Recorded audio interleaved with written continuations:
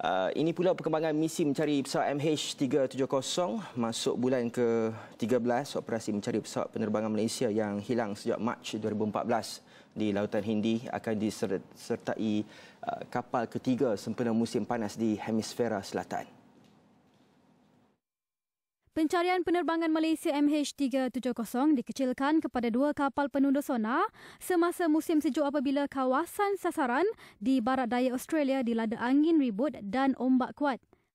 Biro Keselamatan Pengangkutan Australia ATSB dalam satu kenyataan memaklumkan kapal ketiga Havila Harmony dijangka meninggalkan pelabuhan Australia Fremantle di Perth pada Sabtu. Ia dijadualkan tiba di kawasan carian lima hari kemudian. Kapal berkenaan dilengkapi dengan kamera video di dalam sebuah pesawat tanpa pemandu. Havila Harmoni akan mengkaji rupa dan muka bentuk dasar laut yang paling ekstrim.